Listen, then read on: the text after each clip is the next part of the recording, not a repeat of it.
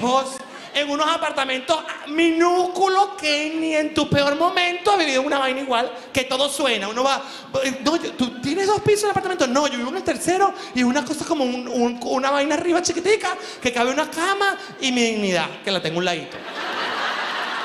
Mi cama individual y mi dignidad que la tengo guardada en una caja también. Una camita y la dignidad mía. Y cuando voy subiendo, ñe, ñe, ñe, por toda la escalera, y claro, uno dice, pero estoy en Nueva York. A mí, me, como dicen los españoles, me la suda estar en Nueva York o no estar en Nueva York.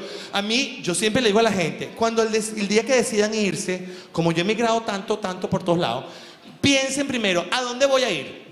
¿Por qué coño me voy a ir para allá? Es nada más para fashion. Si es para fashion, olvídate de eso. No, no, regrésate.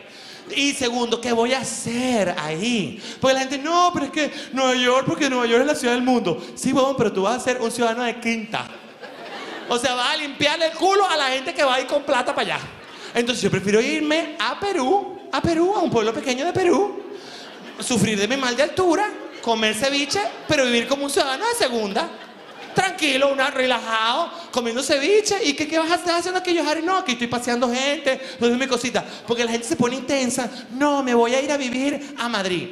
Yo viví en Madrid. Y yo sé, y de ahí es que nace todo esto. y Yo montamos un escenario porque yo nunca había hecho esta vaina. Y la primera vez que me presento en mi vida es en Madrid. Porque la necesidad que yo tenía de contar lo que me estaba pasando, que era horrible. Todo empieza ahí porque yo tengo una gana de hablar. Pero no hablar con una gente quejame, sino hablar de verdad. Yo estaba arrecho, arrecho, arrecho. Y yo estoy un día, todo el mundo me decía, yo, yo me fui a estudiar actuación en Madrid. Y estaba yo un día en el metro, estoy sentado en mi metro. Y la gente me decía, pero echas los cuentos tuyos. Pero yo, ¿qué cuento? ¿Qué cuento? De la novela venezolana, yo hablaba de la novela, hablaba de los venezolanos, hablaba de mi mamá, hablaba de toda vaina lo que yo hablo. Entonces me decía, cuenta toda esa vaina, cuéntalo. Y yo, pero ¿y a la gente que le importa eso, eso es mi intimidad. A la gente no le interesa eso.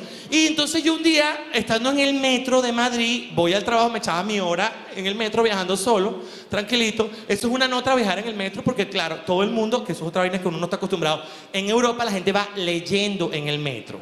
En el, en el metro de uno no va hablando y averiguando la vida ajena. Y burlándose con el de al lado, el del otro.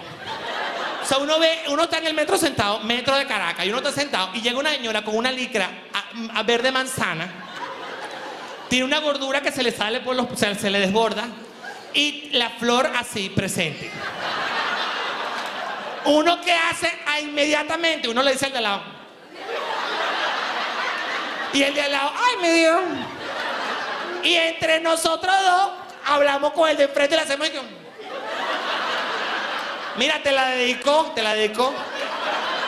La señora de la flor no se ha cuenta que es con ella. Y el de allá, ay, mi Dios, ay, mi Dios. Si por, está a punto de parir, usted lo labió así, chao. Y uno habla media hora de esa gente. Y uno goza, uno ríe, uno jajaja. En el metro de Madrid, en metro de, una, de estas ciudades, en el de Nueva York, la gente puede ir con una tripa afuera, eso no importa. Y tú estás sentado y empiezas a que. Y la gente no capta, no capta. Y uno, mira, lleva el huevo afuera, míralo. Se le salió la cabecita, mira. Y la mujer de al lado y que. Dios mío, ¿Qué, pero qué pasa? Que es su vida. La mía es la mía y la, de él es la de él. Y yo, y uno, claro, y uno y que, pero mira, ríe este, mira, mira. Lleva el muñeco al aire, mira, mira, mira, mira. Descarado.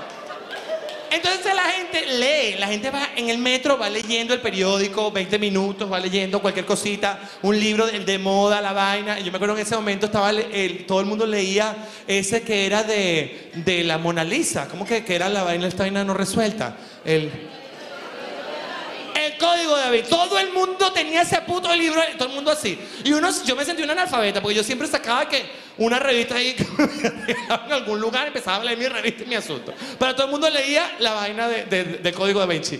Y me acuerdo, estando una vez sentado en el metro, todo el mundo me decía, ¿por qué no te presentas? ¿Por qué no te presentas? ¿Por qué no te presentas? Y estoy sentado en el metro y estoy viendo ahí a una gente ahí investigando la vida. Y hay una chica como esto, como ecuatoriana, como peruana, de, por los rasgos de ellos. O sea, que ellos tienen sus rasgos. Nosotros no- me lo preguntaron en Ecuador. Yo, Harry, ¿por qué ustedes no tienen indios? Se fueron, se marcharon. Supieron antes que nosotros que la vaina iba mal y dijeron, "Pú- púyalo. Ellos ellos emigraron antes de que esto naciera. Porque nosotros, yo me acuerdo la, la época de Carlos Andrés Pérez, los, la- ya los indígenas habían partido con su mochila, con su... Nuestros indígenas no dejaron ni una raya. Salida, salida, nada.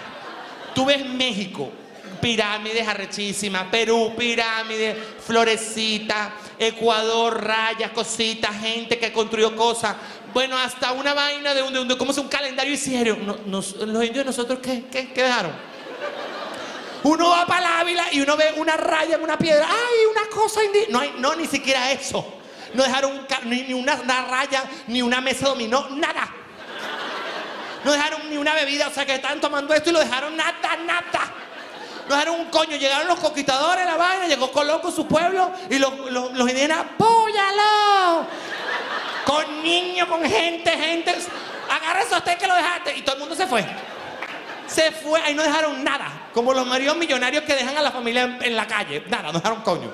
La cosa está en que yo estaba sentado en, en mi- en mi metro y veo a una chica de Ecuador, creo yo.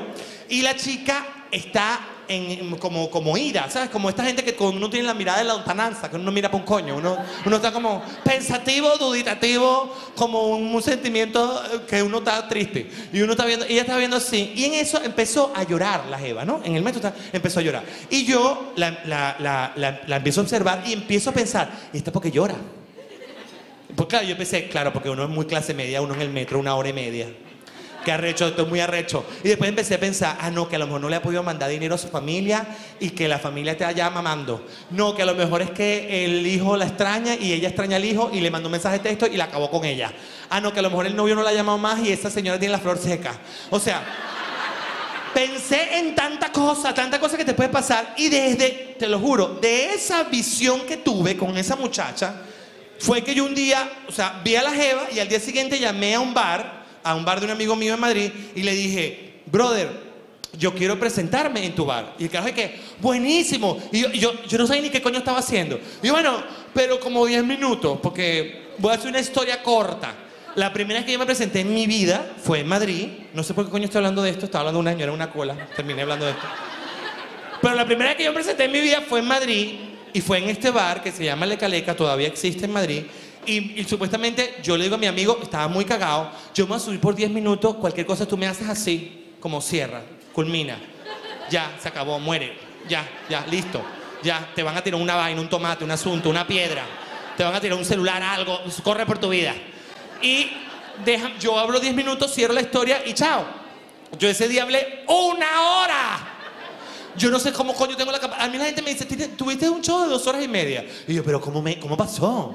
¿Qué nos pasó? A mí los, hay comediantes que me dicen, yo Harry, yo tengo mi vaina bien escametizada de 15 minutos. Yo no puedo. A mí, cuando yo voy a un programa de televisión, me pasó ahorita en Ecuador, ¿nos puedes echar un cuento de, de tres minutos? No, si tú me das media hora, yo te hago un análisis. A mí tres minutos no me da el tiempo porque yo empiezo, ¿cómo está? ¿Cómo le va? Yo me llamo yo Harry. Ya, ya en ese momento se me fueron tres minutos. O sea, me da- dame media hora, hago, te hago un análisis de este canal, de tu, de tu país, de tú, de tú mismo, de tus signos zodiacales, te, te hago un remate.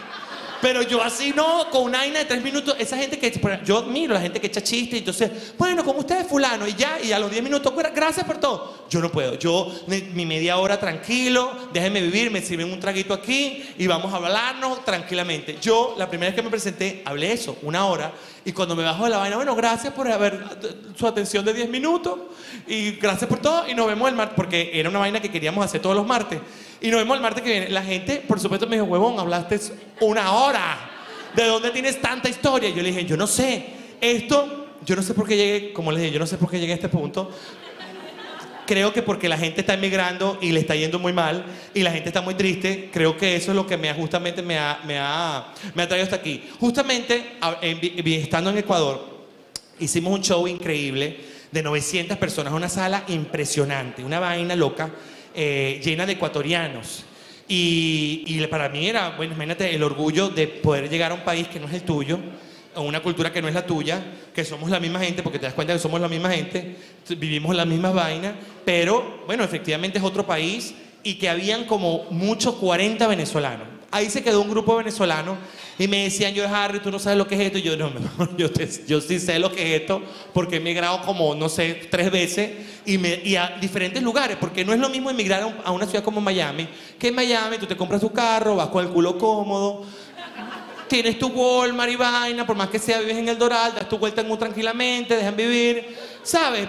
Tienes a los carajitos en el colegio chévere, todo, bueno, más o menos, una casita y tal. Pero cuando tú vives en Europa, la vaina se pone oscura. Sí, y la gente que vive en Europa me lo dice. O sea, yo vivía allá, eso sí es oscuro, compadre. ¿Sabes lo que es ganar mil euros a lo sumo en esa vaina y tú vives con joda, contando los euros? Eh, tres euros mi amor, para que desayunes mañana. Sí, me- mamá, pero tengo hambre. A rebajar, mi amor, estás muy gordo.